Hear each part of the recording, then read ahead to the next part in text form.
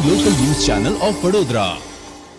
ભારતીય જનતા પાર્ટી દ્વારા ward number અગિયારમાં સમાવેશ સ્કાયલાઇન રેસિડેન્સી સનપરમાં ખાતે અકોટા વિધાનસભાના ધારાસભ્યના કોટામાંથી ધારાસભ્ય સીમાબેન મોહિલેજી અને દંડક ચિરાગભાઈ Barot, councillor Sangitaben Choksi, councillor Mahalakshmiben, ward number અગિયારના પ્રમુખ જયેશભાઈ તથા મહાનુભાવોના હસ્તે નવા રસ્તા બનાવવાનું ખાતમુહૂર્ત કરવામાં આવ્યું હતું.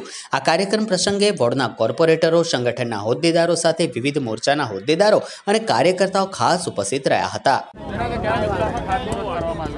આજે ધારાસભ્ય ગ્રાન્ટમાંથી માર્ગ અને પરિવહનમાંથી બે કરોડની ગ્રાન્ટ ધારાસભ્યને આપવામાં છે. પોતા જે તે વિસ્તારના જે તે વિધાનસભામાં જઈ આગળ લાગતું હોય ઇન્ટરનલ રોડ્સ હોય, એ ક્યારેક ક્યારેક રિસર્ફેસિંગ ના થતું હોય કે પેવર બ્લોકનું કામ ના થતું હોય, એવા વિસ્તારમાં મારા વિધાનસભામાં હું બે કરોડની ગ્રાન્ટમાંથી અલગ અલગ વિસ્તારમાં સોસાયટી વિસ્તારના લાગતા રસ્તાઓનું રિસર્ફેસિંગ અને સાથે સાથે પેવર બ્લોકનું કામ લીધેલું છે. વોર્ડ નંબર અગિયારમાં આવતા સનફાર્મા રોડ ઉપર, મુનશી સ્કૂલથી લઈને આપણે સનફાર્માથી લઈને થેટ એન્ડ સુધીનું પેવર બ્લોક સર, વાઇન્ડનિંગ અને પેવર બ્લોક સાથે રિસર્ફેસિંગ આમ અઢાર લાખનું કામ આ રોડનું લેવામાં આવ્યું છે. વિસ્તારના રહેવાસીઓની ફાર બહુ જરૂરિયાત હતી આ વિષયની દર વખતે રજૂઆત કરતા હતા.